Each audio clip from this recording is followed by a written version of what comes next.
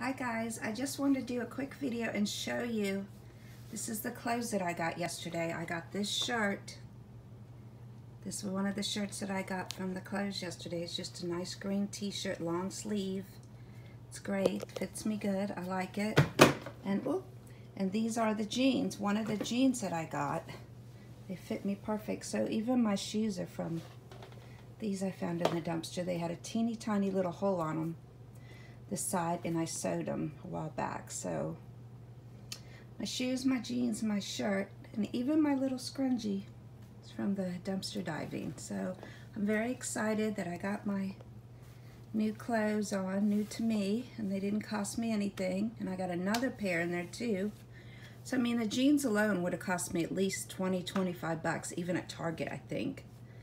So I got two pairs of jeans, I got four or five shirts, that's like $80 worth of clothes free.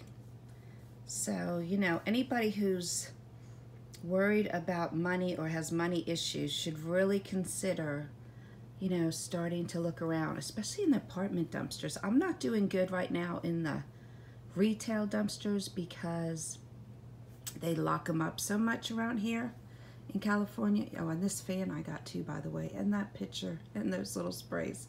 Pretty much everything in my house. Um, but um, the apartment complexes are easy to get into and um, you find a lot of good stuff there. And for me, I've had better luck. I find a couple things, but not a lot at the retailers. Well, California, for whatever reason, they lock everything and they all seem to have compactors by me. So I'm doing better at apartments. So, and I live in an apartment complex that has a bunch of dumpsters. And I'm gonna go check them out right now. So I will get back to you soon.